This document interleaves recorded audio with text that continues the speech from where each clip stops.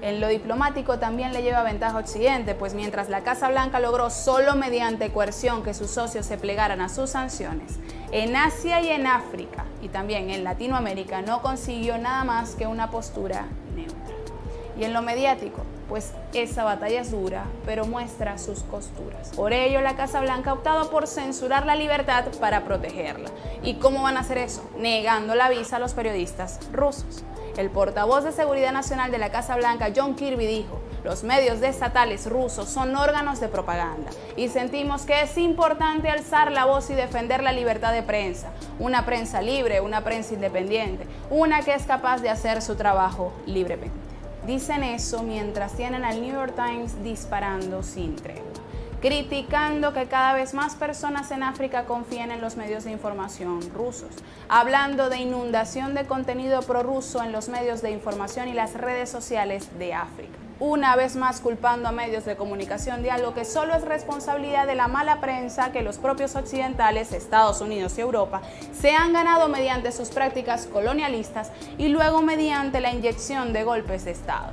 Ahora vamos a ver una gráfica muy sencilla que para nosotros es un elemento audiovisual, pero para muchos países es memoria dura, dolorosa y necesaria, sin necesidad de pintarle con ningún color de la bandera rusa ni colocar un solo comentario pro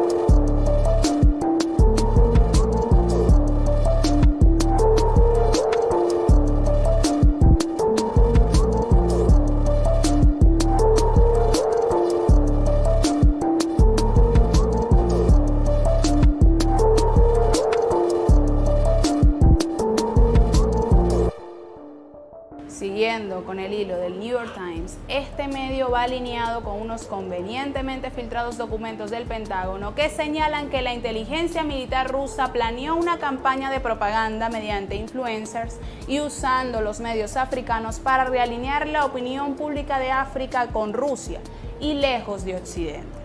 Todo esto en contraste con la censura pública y abierta que hiciera Occidente de medios de comunicación como RT y como Sputnik desde febrero de 2022 por la actuación rusa en Ucrania.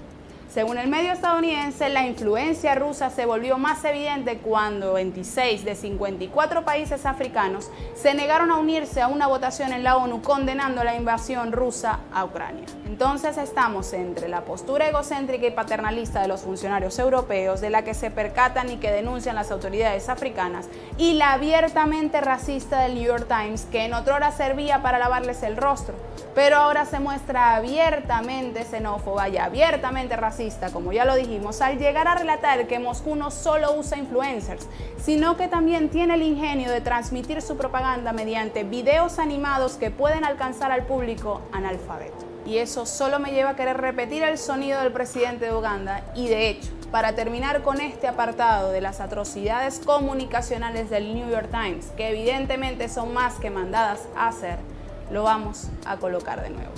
Vamos con él y volvemos. You know, I spent many years studying English. 12 years. I think one of the words I picked up in those years is insufferable. Some of these people are insufferable. You need to control yourself not to explode. So shallow, so egocentric, so wrong, but they think they know everything, broadcast their ignorance all over the place. But, but they should calm down. Sobre todo esto el canciller ruso ha sido franco, digamos que hasta le sorprende, y dijo desde Cuba recientemente que no recordaba semejante chantaje de Occidente a África, ni siquiera durante la Guerra Fría. Laiguana.tv La verdad hecha tendencia.